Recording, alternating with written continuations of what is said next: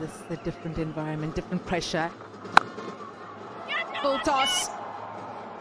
And gone. Disappointment for Scotland, but elation for West Indies. Finally, the breakthrough comes.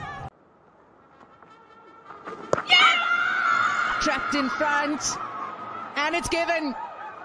Sue Redfern has the finger up. The batters will have a chat.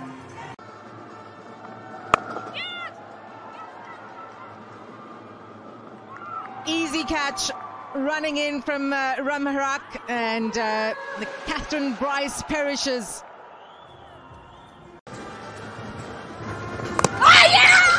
Brilliant take. That is an outstanding catch. The bottom edge. He says, you know what, I might not get one stumping, but I'll take every other opportunity that comes my way.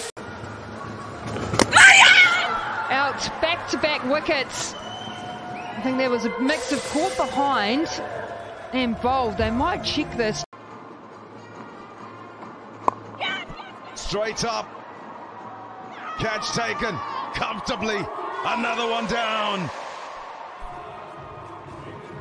What a start is this for West Indies.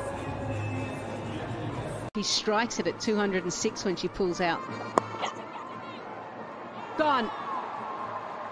Well, that is one of the softest dismissals I have seen. Afy Fletcher. Gets another one. This one is held safely. And the captain says, if you don't want to do it, I will. Fletcher, every over has created opportunities. Chance and taken. Campbelle behind the stumps had a lot of time to execute that stumping. And Afy Fletcher, Fletcher has her first.